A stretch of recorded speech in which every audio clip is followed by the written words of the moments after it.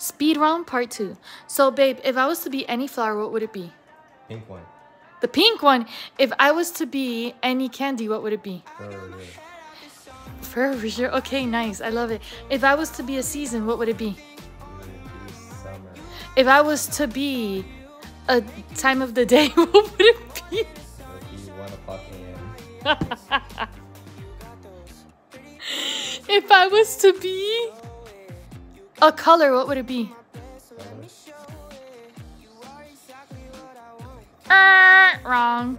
No, red. Why red? Why red? Red.